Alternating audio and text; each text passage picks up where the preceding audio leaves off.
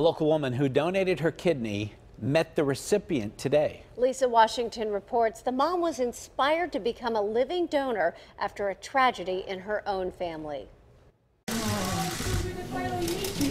Meeting Brian Cox was a moment Laura Gillum had been waiting for for nearly a month.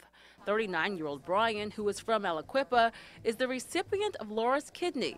The surgery was March 7th. First person I called was my girlfriend. She was on the phone crying. I was crying. It was just, we were so happy because we, we, didn't, we didn't think this day would come. Laura decided to become an organ donor after the death of her son Dean, who drowned after falling in the family's backyard pool in 2015.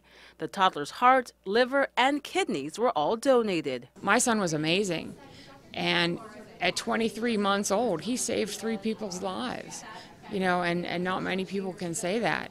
And even though he's gone, I try every day to do something to make him proud of me. She's created a nonprofit, become a certified CPR instructor, and now an altruistic living kidney donor, giving her kidney to someone she didn't know. I just can't comprehend why someone wouldn't want to donate their kidney, you know. So hopefully, um, getting the message out, more people will want to do it, and and that they'll want to educate themselves to find out just what everything entails. Brian, who's had kidney failure since 2016, says getting Laura's kidney is not only life changing, she saved his life.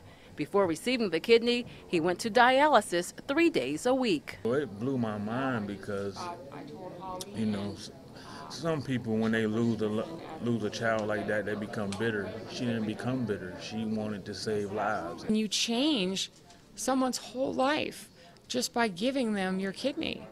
So no more dialysis. He can go wherever he wants to go. The two say they plan to stay in touch. Laura, who adopted a baby girl named Zoe, introduced Brian to her daughter as her newest uncle.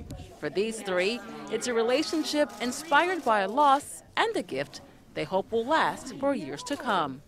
Lisa Washington, KDKA News.